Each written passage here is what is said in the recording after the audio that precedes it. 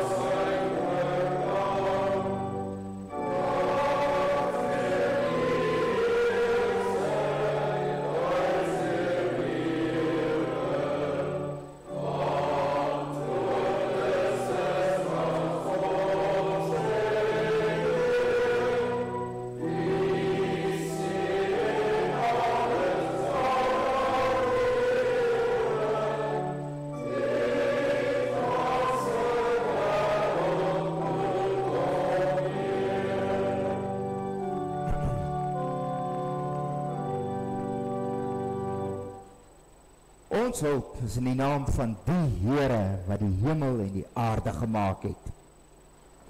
Genade en vrede vir julle van God die Vader en ons Here Jesus Christus deur die kragtige werk van die Heilige Gees.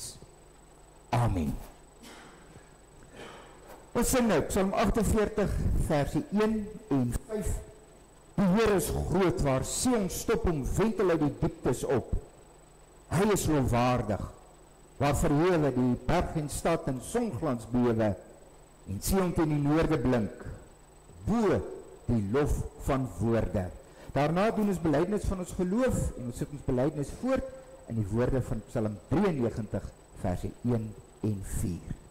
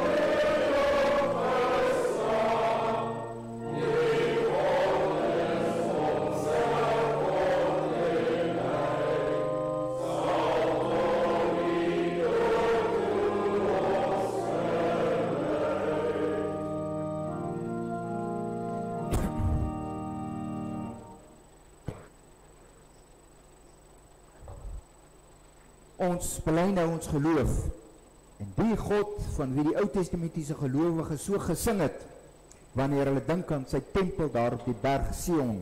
Die God wat ons tot die dood toe gelei. Ek glo in God die Vader, die Almagtige, die skepper van hemel en aarde. En in Jesus Christus, sy eniggebore seun, ons Here. Wat ontvang is van die Heilige Gees, gebore uit die maagd Maria, wat gelei het onder Pontius Pilatus, gekruisig is, gesterf het en begrawe is. Hy het die lyding van die hel ondergaan. Hy het op die derde dag opgestaan uit die dood, opgevaar na die hemel en sit aan die regterhand van God, die almagtige Vader, waarvandaan hy sal kom om die lewendes en die dooies te oordeel. Ek glo in die Heilige Gees. Ek glo aan 'n heilige, algemene Christelike kerk, die gemeenskap van die heiliges, die vergifnis van sondes, die opstanding van die liggaam en 'n ewige lewe.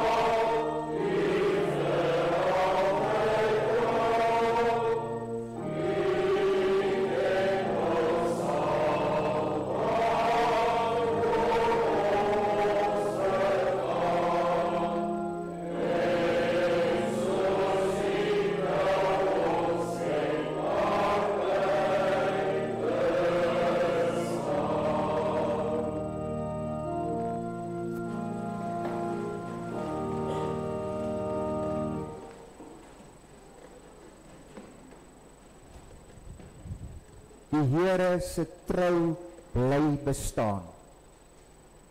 Hy kom altyd sy beloftes na.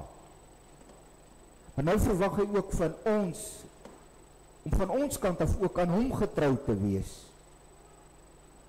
Om ook ons beloftes wat ons afgelê het toe ons blydenis van geloof afgelê het om die beloftes wat ons gemaak het toe ons ons kinders gedoop het na te kom. In kort gaan dit oor die 10 gebooie se nakoming. Toe het God al hierdie gebooie aangekondig. Ek is die Here jou God wat jou uit Egipte uit die plek van slawerny bevry het. Jy mag naas my geen ander gode hê nie. Jy mag nie vir jou beeld of enige afbeelding maak van wat in die hemel daarbo of die aarde hieronder of in die water onder die aarde is nie jy mag hulle nie vereer of dien nie. Want ek, die Here jou God, is onverdeel, onverdeelde trou aan my. Ek reken kinders die sondes van hulle vaders toe, selfs tot in die derde en die vierde geslag van die wat my haat. Maar ek betoon my liefde tot aan die duisendste geslag van die wat my liefhet en my gebooie gehoorsaam. Jy mag die naam van die Here jou God nie misbruik nie. Want die Here sal die een wat sy naam misbruik nie ongestraf laat bly nie. Sorg dat die Sabbatdag heilig hou. Ses dae moet jy werk en alles doen wat jy moet. Maar die sewende dag is die Sabbat van die Here jou God.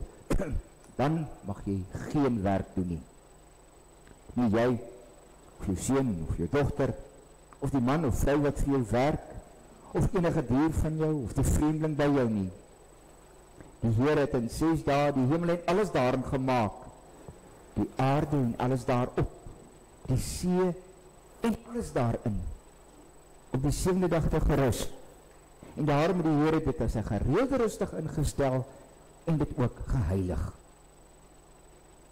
Eer jou vader en jou moeder, dan sal jy lank woon in die land wat die Here jou God vir jou gee. Jy mag nie moord pleeg nie. Jy mag nie egbreek pleeg nie. Jy mag nie steel nie. Jy mag nie vals getuienis teen 'n ander gee nie. Jy mag nie iemand anders se huis begeer nie. Jy mag nie sy vrou begeer nie ook nie 'n slaaf of 'n slavin, 'n bees of 'n donkie of enigiets anders wat aan hom behoort nie.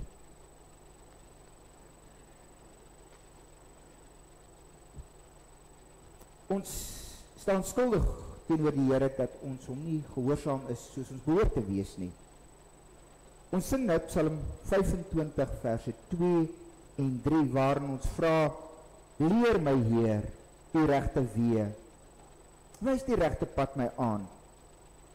Maak my hart daartoe genee om met lus daarop te gaan. Ek bid dat die Here ons sal help om tog getrou aan hom sal wees.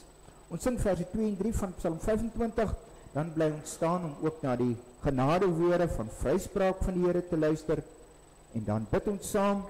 Direk daarna sing ons skrifbreiding 16 1 verse 1 2 en 3 ook as 'n inleiding tot die doop.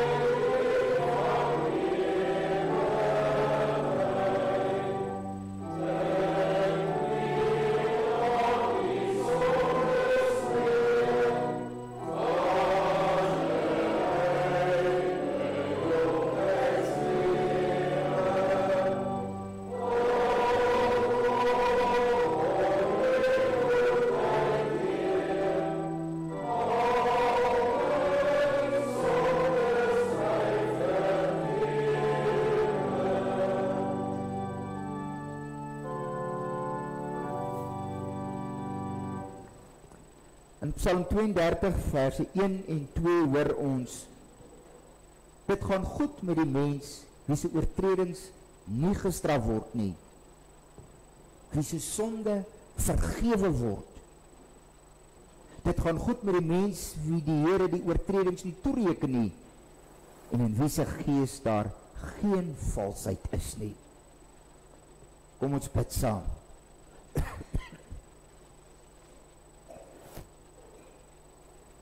Ons Here,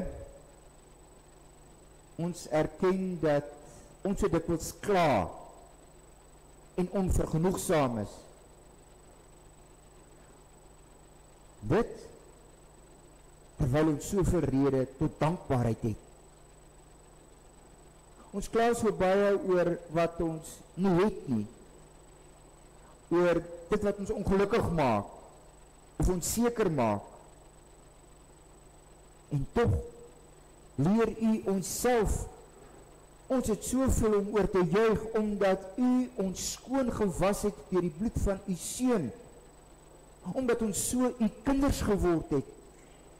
Omdat U ons Vader geword het, U die almagtige skepper van hemel en aarde.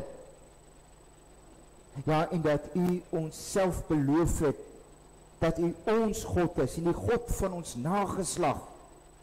Elke een wat in U glo. Ag Here, U is goed vir ons en daarvoor eer en ons dank U en ons vra U om ons oë oop te maak vir U goedheid in ons lewens, hoe U ons beskerm en dra en versorg tot aan die einde van ons lewe hier op aarde en daarna ook nog. Ons bid U. Help ons om so te leef dat ons vir die wêreld wat in donkerte is, die mense wat U nie ken en nie in U glo nie, dat ons vir hulle sal wys wat dit beteken om in U te glo en U vrede te hê. Ons dank U om vanmôre weer hier bymekaar te wees. En ons bid U om elke byeenkoms van die kinders dwars oor die wêreld te seën. Om ons almal se gebede te hoor en te aanvaar. Ons lof aan te hoor. En elke een van die kinders ook in hierdie dag met U seën. U weet dat U met ons is. Huis toe te stuur. Ons bid U om ons ook vanmôre te seën in hierdie erediens besonder ook wanneer 'n uh, babatjie die teken ontvang van u trou van geslag tot geslag. Dit bid ons om Jesus wil. Amen.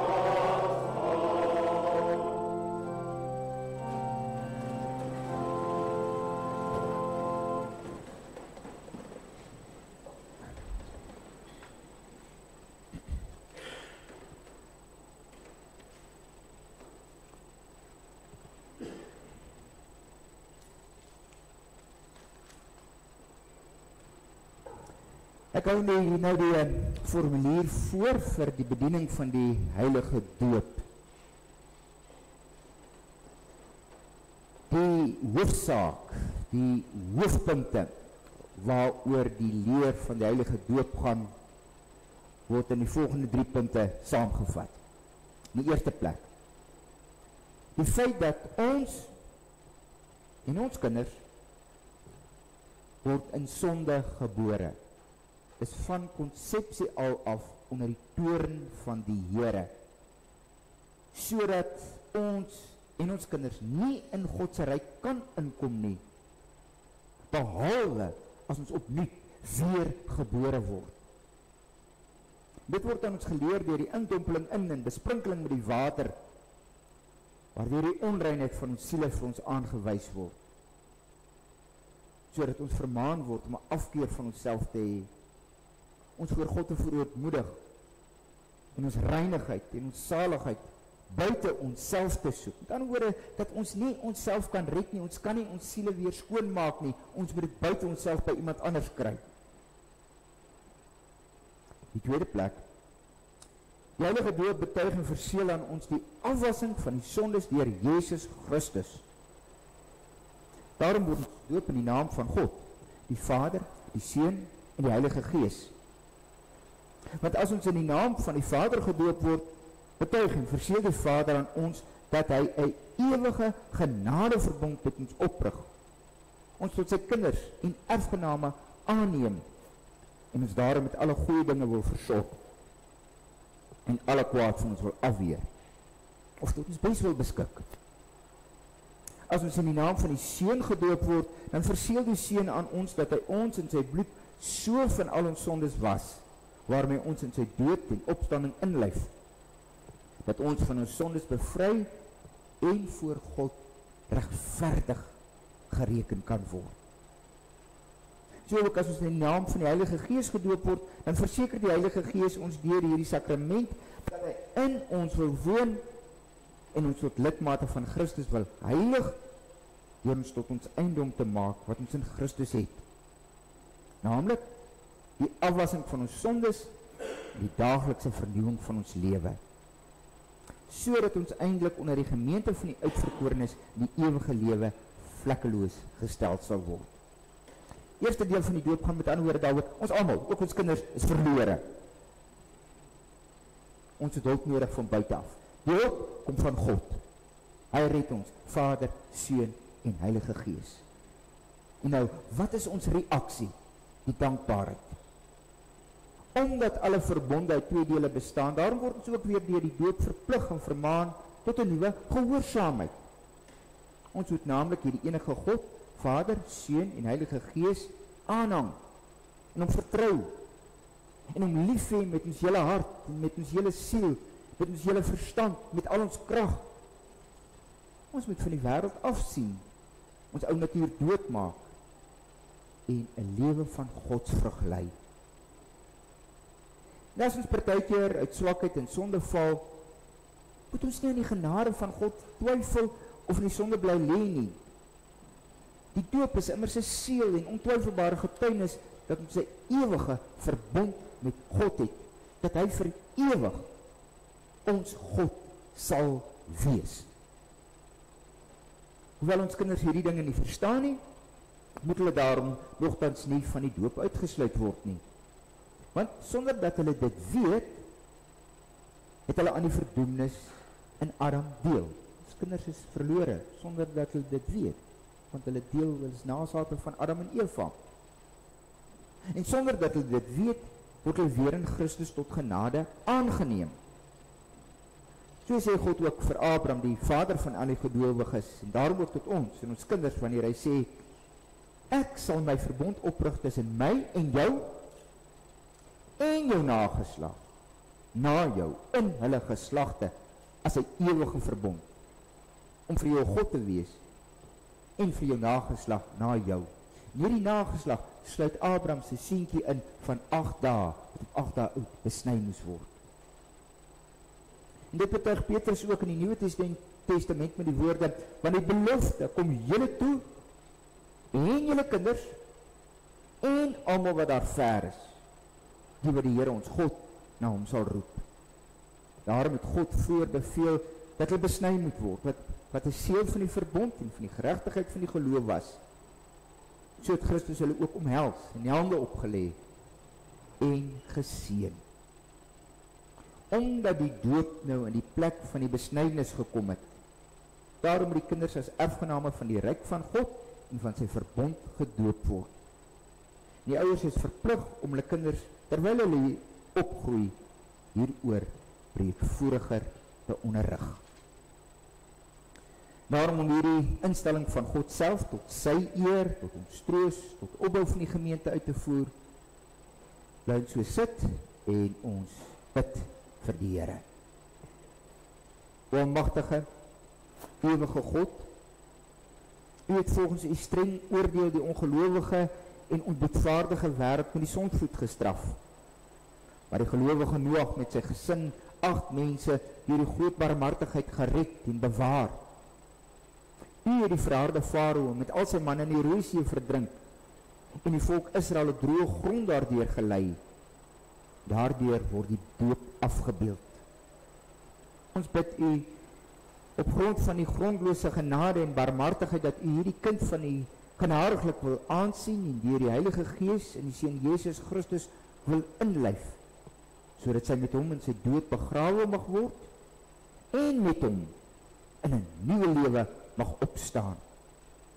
Laat sy terwyl sy hom daagliks navolg haar kruis blymoedig dra en hom aanhang met opregte geloof en vaste hoop en vurige liefde sodat sy hierdie lewe wat tog niks anders as 'n voortdurende sterwe is nie deur die getroos mag verlaat. En op die laaste dag sonder verskrikking voor die regterstoel van die van Christus u seun mag verskyn. Dit bid ons deur hom ons Here Jesus Christus u seun wat saam met u en die Heilige Gees een enige God leef en regeer in ewigheid. Amen. Ons vra nou dat uh, Phil en Riet na vore kom om ook op die volgende vrae te antwoord.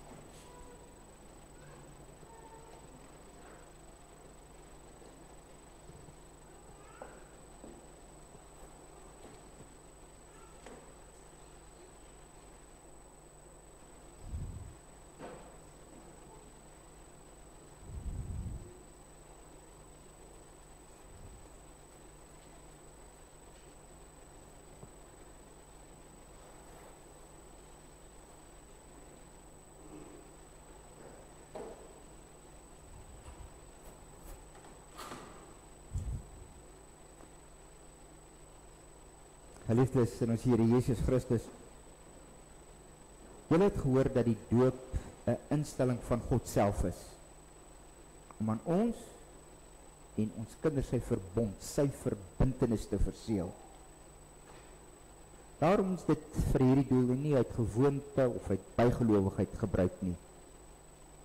Dat dit duidelik kan word dat dit julle gesindheid is, julle van julle kant af opreg op die volgende vrae antwoord. In die eerste plek hoewel ons kinders in sonde ontvang en gebore word, daarom aan allerlei ellende ja aan die verdoemenis self onderworpe is. Bely julle nogtans dat hulle in Christus geheilig is. En daarom is lidmate van die gemeente behoort gedoop te wees. In die tweede plek beloof julle dat die leer van die Ou en die Nuwe Testament wat in die artikels van die Christelike leer vervat is en wat ook in die Christelike kerk hier geleer word dat dit die ware en die volkomme leer van die saligheid is. En in die derde plek beloof julle en neem julle julle voor om hierdie kind van wie julle die pa en die ma is wanneer sy dit kan verstaan en die genoemde leer na julle vermoë te onderrig en te laat onderrig. Wat is hier op julle twee se antwoord? Ons gaan nou daartoe oor om die doop te bedien.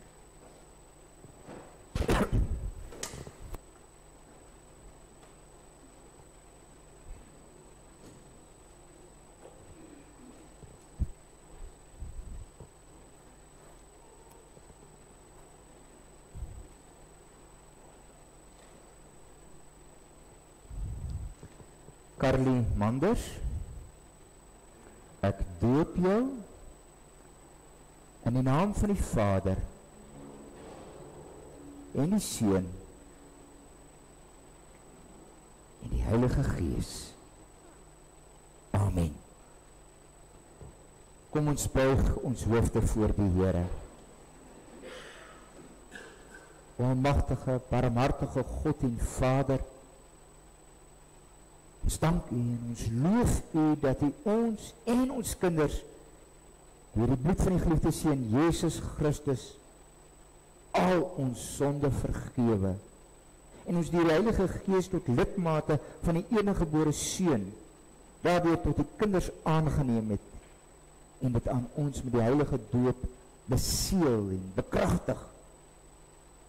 Ons bid U ook deur hom, U geliefde seun, dat U hierdie kind altyd met die Heilige Gees wil regeer sodat sy Christelik en godvrugtig opgevoed mag word en in die Here Jesus Christus mag groei en toeneem sodat sy vaderlike goedheid en barmhartigheid wat u aan haar en ons almal bewys het, kan bely en in alle geregtigheid onder ons enigste leraar, koning en hoëpriester Jesus Christus kan leef en moedig teen die sonde en die duiwel en sy hele ryk kan stry en oorwin om u en die seun Jesus Christus en ook die Heilige Gees, die enige gebore, die enigste ware God, ewig te loof en te prys. Amen. Kom ons sing nou Psalm 134 vers 4 as 'n seënbede vir klein Carly en haar ouers en hulle hele familie.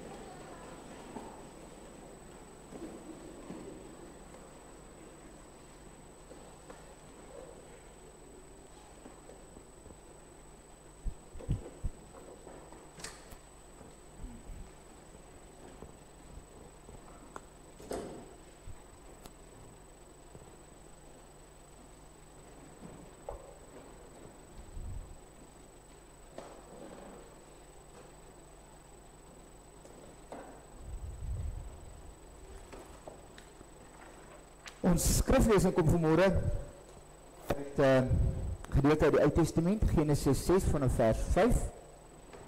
En dan lees ons ook 'n uh, deel uit die Nuwe Testament, 1 Petrus 3. Die Ou Testamentiese gedeelte handel in besonder dan nou is 'n gedeelte van daardie geskiedenis van Noag en die sondvloed. En dan in die Nuwe Testament maak die Here dit ook van toepassing op ons en en verbind hy die doop met die sondvloed. Ons begin Genesis 6 vanaf vers 5. Ekskuus tog.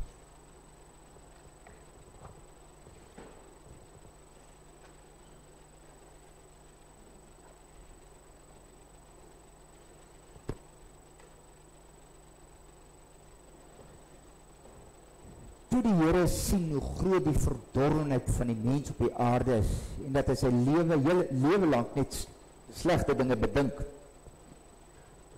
Was die Here bedroef daaroor dat hy die mens op die aarde gemaak het. Dit het hom diep gegrief. Die Here het gesê ek sal die mens wat ek geskep het wegvee van die aarde af. Mens en dier, ook die wat kruip en die voëls want ek is bedroef daaroor dat ek hulle gemaak het. Maar Noag is deur die Here begenadig. Hier volg die verhaal van Noag. Noag was 'n regverdige man. Onder sy tydgenote was hy onberispelik net naby God geleef. God het drie seuns uh, Noag het drie seuns gehad Sem, Ham en Jafet. Die aarde was korrup in die oë van God, vol geweld. Die aarde gesien. Dit was korrup. Elke mens op aarde se lewe was verrot. Toe sê God vir Noag: Ek het besluit om 'n einde te maak aan alle mense want deur hulle toedoen is die aarde vol geweld.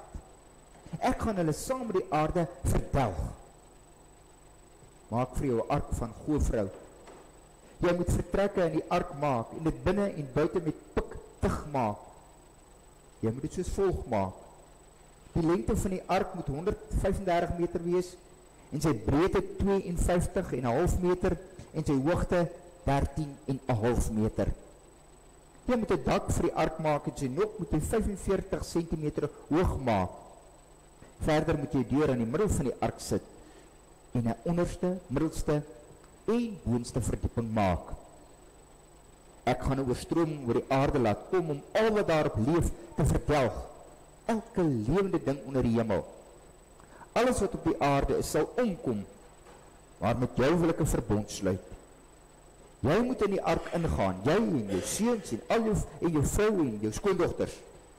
Van al wat leef, van al die diere, moet jy twee van elk, manlik en vroulik, in die ark laat ingaan om saam met jou aan die lewe te bly.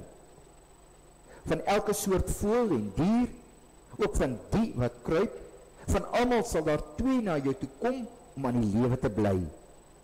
Jy moet vir jou kos saamvat van alles wat geëet kan word en dit by jou wegpak. Dit sal jou en die diere se kos wees. Noag het alles gedoen presies soos God hom beveel het. Dan lees ons nou uit 1 Petrus hoofstuk 3.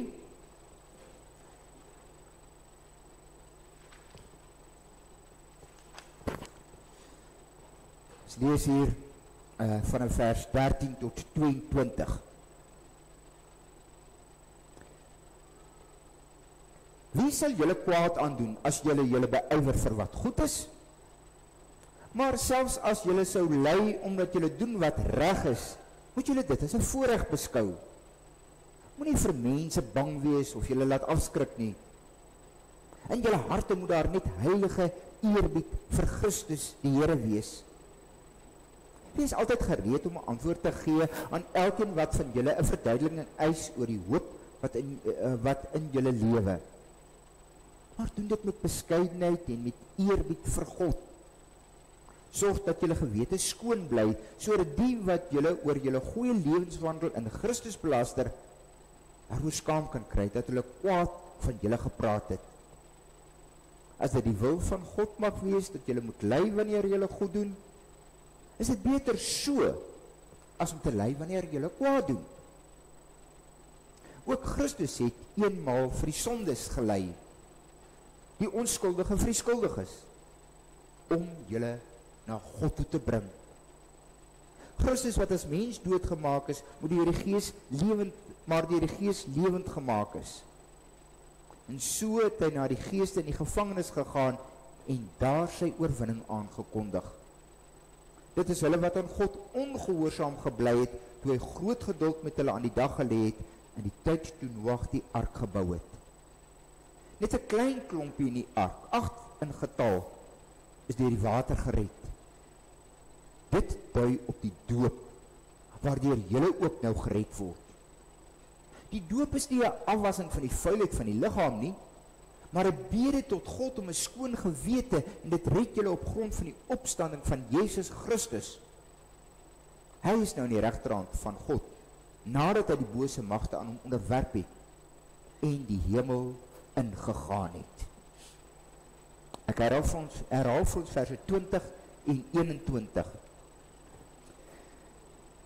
Dit is hulle wat aan God ongehoorsaam gebly het toe die gro met groot geduld aan die dag gelê het in die tyd toe Noag die ark gebou het. Net 'n klein klompie in die ark, agter getal, is deur die water gered.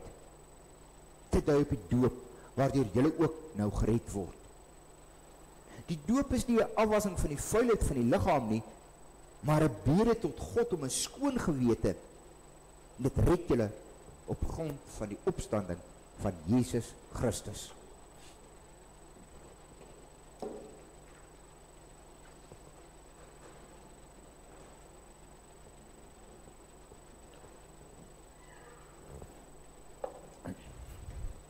Geliefdes in die Here,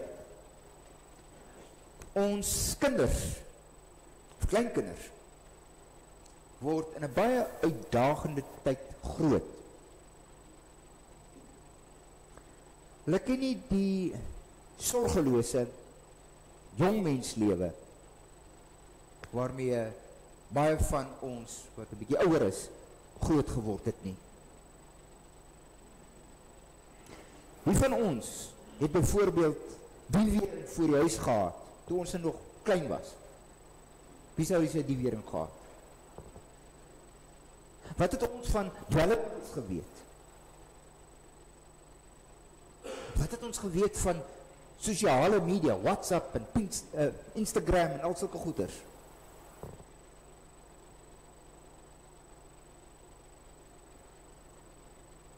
Wie sou dit nou ooit kon dink? Toe ons nou jonk was. Wie sou ooit kon dink dat daar Afrikaans sprekende mense gaan wees wat hulle daarvoor beywer om godsdiens in die skole te verbring? Ding wat totaal ondenkbaar is.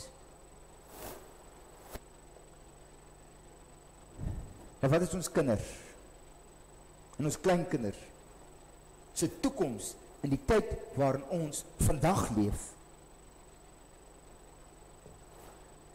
Wat behoort ons as ouers se ingesteldheid te wees oor hoe om ons kinders in hierdie tyd groot te maak?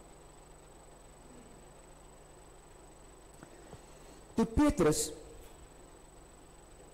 sy eerste brief aan die gelowiges in Klein-Asië, nou Klein-Asië is die gebied waar Turkye vandag is. Toe hy hierdie eerste brief aan hulle geskryf het, het hy aan hulle geskryf om hulle te bemoedig en raad te gee. Want vir die gelowige was die destydse wêreld 'n wêreld van van uitdagings. Daarom skryf hy ook oor lyding. Hy sê selfs as jy sou ly omdat jy doen wat reg is, moet jy dit as 'n voorreg beskou. As jy deur die hele brief gaan dan praat hy van van gelowiges, mense onthou julle is vreemdelinge hier op aarde. Mense kyk julle snaaks aan asof julle nie hier hoort nie. Julle is eintlik van 'n ander planeet af. Beteken julle gaan swaar kry. Mense gaan skuins opkyk na julle. Wees bedag daarop.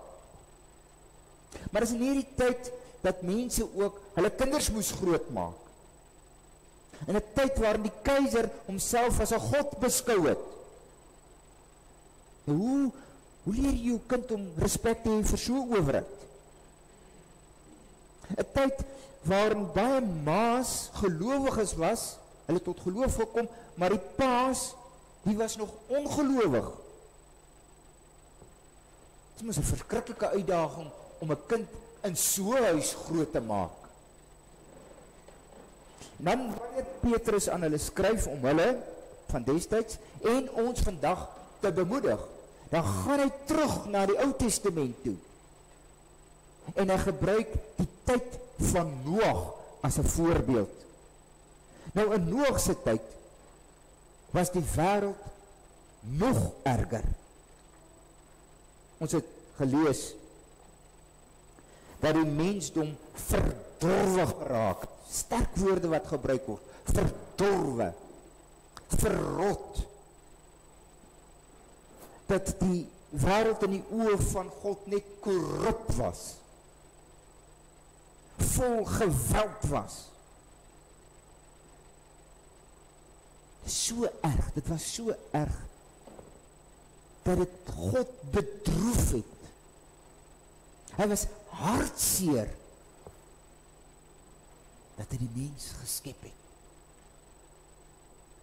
So erg was die wêreld.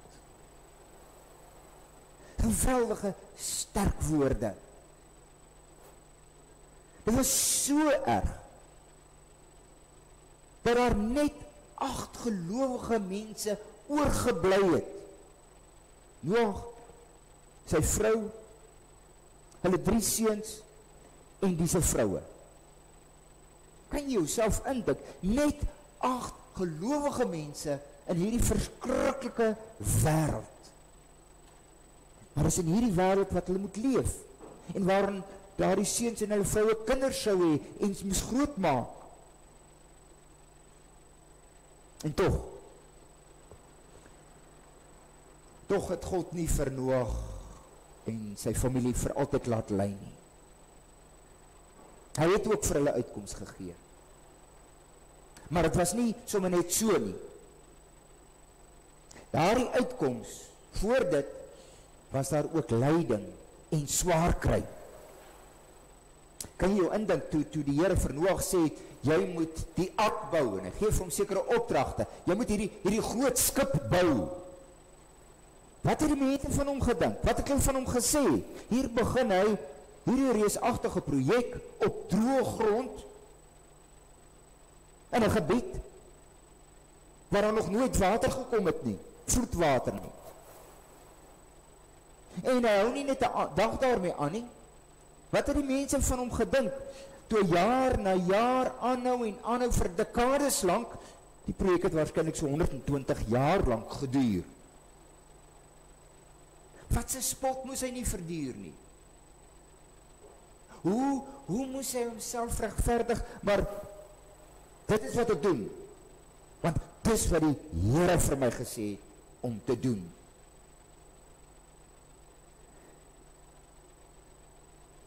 En hy het op 'n sekere manier geleef. Wat het in God geglo. En hy wou aan God gehoorsaam wees.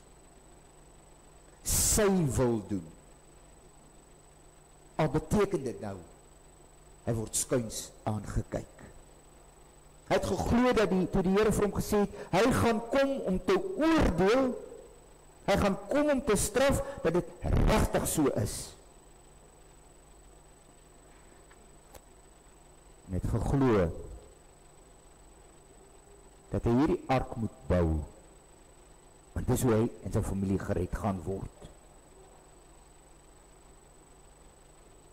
Ons moet weet, ons moet weet, ons ouers moet weet, grootouers moet weet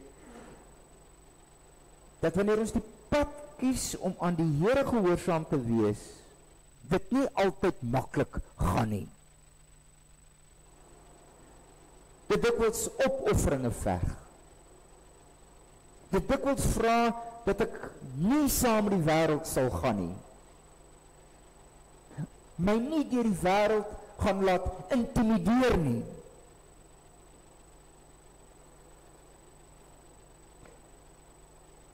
Want ons as Nuwe Testamentiese gelowiges weet, ons volg Jesus Christus. Hy het aarde toe gekom as God se seun, as self God. Maar dit beteken nie alles was vir hom maklik nie. Dit beteken nie die mense het vir hom as laar die rooi tapete uitgerol nie. Nee. Al was hy God se seun, het die mense hom nie geëer nie, het hom eerder gevloek en geskel. Het hom selfs gegeesel. Beledig as 'n misdadiger behandel, op die einde gekruisig. Dis wat met God se seun gebeur en nou volg ons hom in sy voetspore. Ons verwag ons gaan moet lê. En tog, tog weet ons, die voetspore eindig nie by die kruis nie. Die voetspore wat ons volg gaan verder tot by die hemelvaart waar Jesus opgevaar het hemel toe.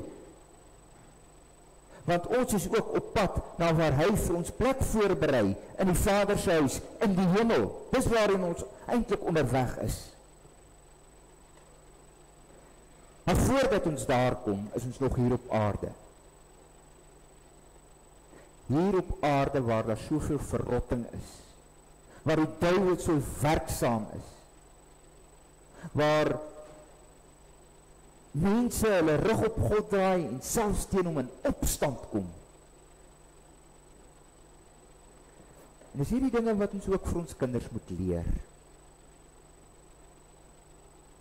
Hulle moet leer van die Here.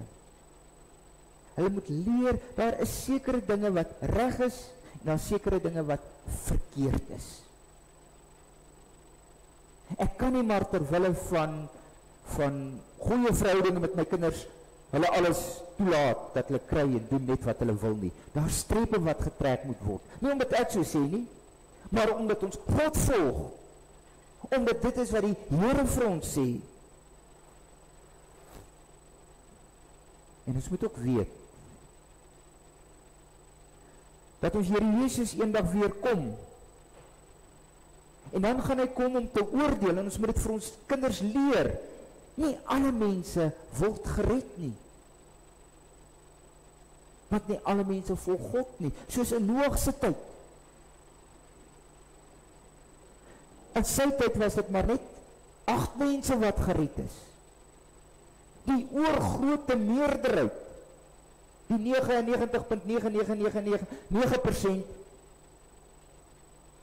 het in die vervloed vergaan. En tog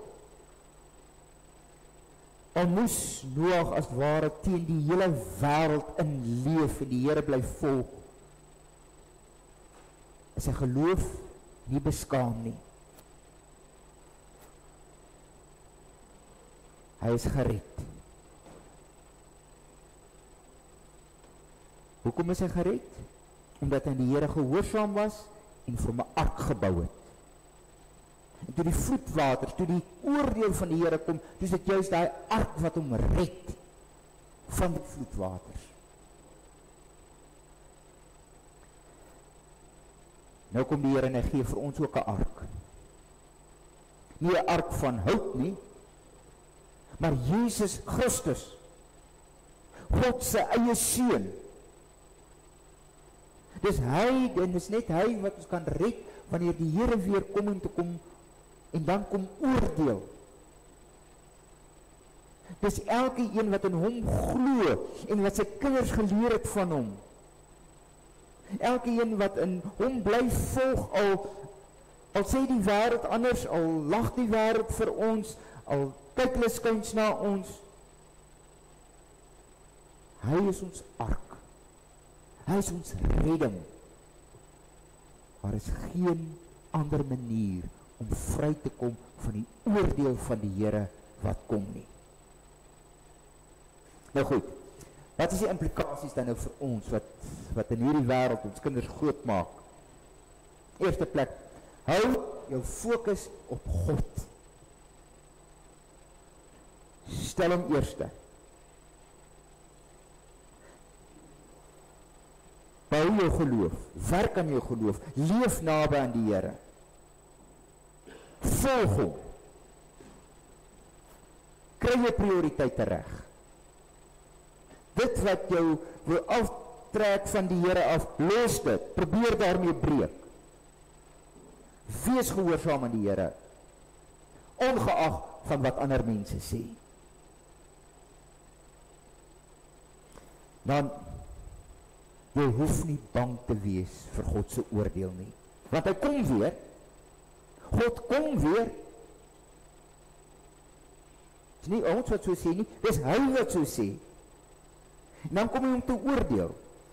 En tog hoef ons nie bang te wees vir daardie dag omdat ons 'n ark het. Jesus Christus. Hy het vir ons skuld betaal, ons skuld is betaal en daarom kan ons gewete nou skoon wees. Nie omdat ek niks verkeerd gedoen het nie, maar omdat Jesus vir my betaal het. Daarom hoef ek nie skuldig te voel of ek nie bang te wees wat gaan ek doen hieroor of wat gaan ek doen oor dit wat ek in my lewe verkeerd gedoen het nie. Nee. My gewete kan skoon wees, ek kan gerus wees. Jesus Christus het vir my betaal. Hy's my ark. Hy's my redding. Maar dit beteken nie ons kan net op ons laure sit tot op die dag wanneer hy weer kom nie. Nee, ons moet ons voorberei. Ons moet op so 'n manier leef dat die wêreld kan sien ons glo in God. Ons moet ons kinders begelei in hierdie wêreld sodat hulle in ons lewens ook die Here kan sien. Daarom is dit belangrik dat ons kinders en ons kleinkinders sal sien. Maar ons lees Bybel in die huis. Ons bid ons ons ons gaan gereeld kerk toe. Want as ons kinders sien die Here is 'n werklikheid in ons lewens, dan is dit vir hulle ook makliker om in die voetstappe van ons Here Jesus te volg. Wanneer hulle sien en hoor ek praat die waarheid, al is dit tot my nadeel, of hulle sien in my lewe ek is bereid om my tyd op te offer vir iemand anders, dan sien hulle Maar ek glo in God en hulle kan ook in daardie God glo en ons maak dit makliker vir hulle. Ons lees Noag was 'n regverdige man. Sy seuns, sy skoondogters het 'n pa en ma gehad wat hulle kon volg in die geloof. Al het die res van die wêreld vir hulle gelag terwyl hulle daai skip gebou het.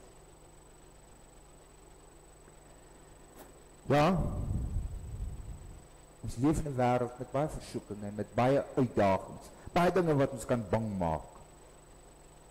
Maar ons weet, dit sal nie vir altyd aanhou nie. God gaan daaroor kom oordeel. En vir elkeen wat in God glo, vir ons as gelowiges, sal dit eintlik 'n blye dag wees. Want dan sal al hierdie swaarke, al hierdie tuistering, al hierdie spottery sal verby wees vir altyd.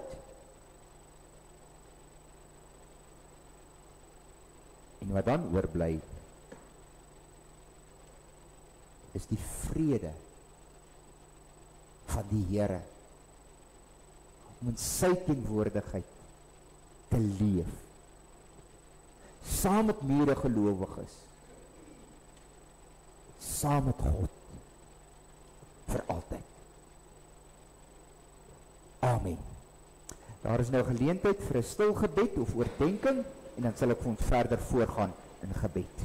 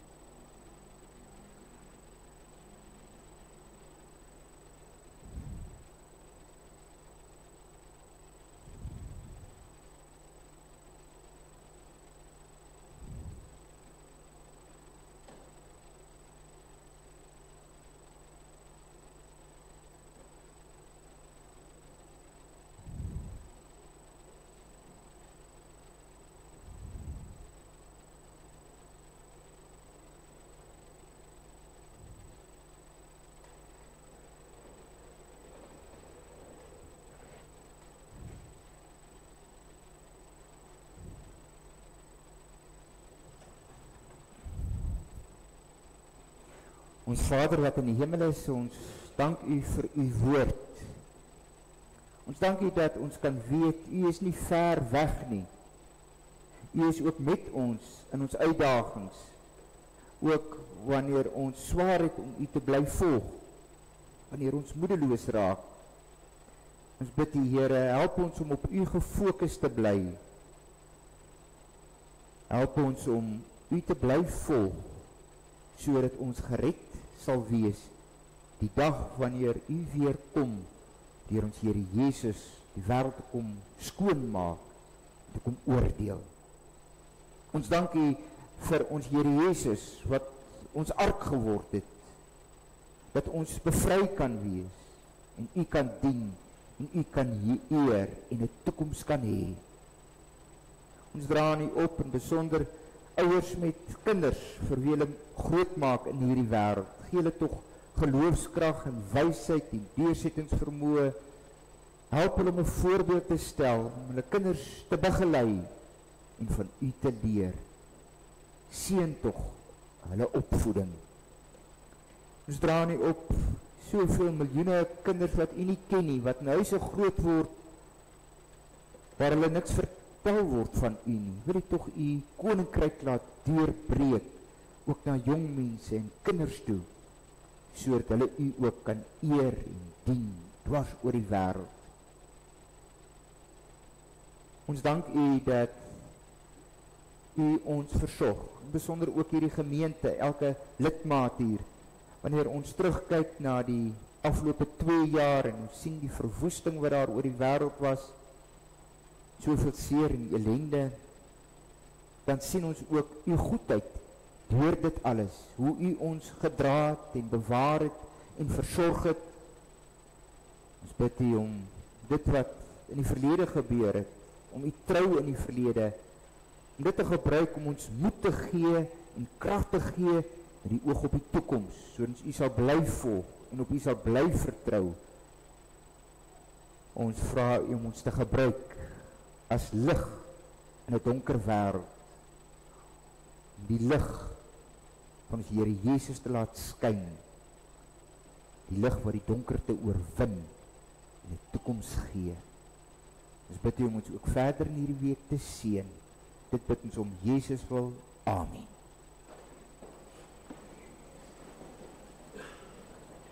Daar is nou geleentheid vir die diens van barmhartigheid, kollekte wat deur die diakonie uh bestuur word en uitgedeel word aan hulle in nood. Die kollekte by die deure gaan vir ons teologiese skool se studentekas wat ook help met uh die opleiding van predikante.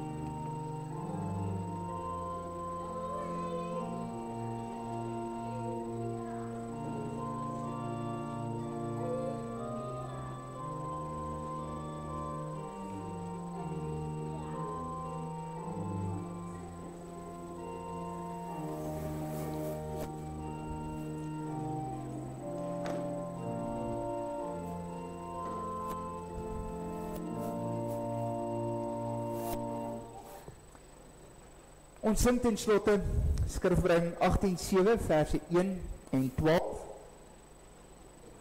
Dit is 'n skrifbring uit Openbaring 21 wat eintlik vir ons beskryf hoe die wêreld gaan lyk na God gekom het om weer te kom oordeel. Die finale oordeel. Hoe lyk die wêreld dan? Hy het met die stad getoon, groot en van die hemel dalend en deur God se ligland skoon soos 'n kleurgesteente stralend. Helder soos 'n kristallyn wat in al sy klaarheid skyn. Lied oor die nuwe Jerusalem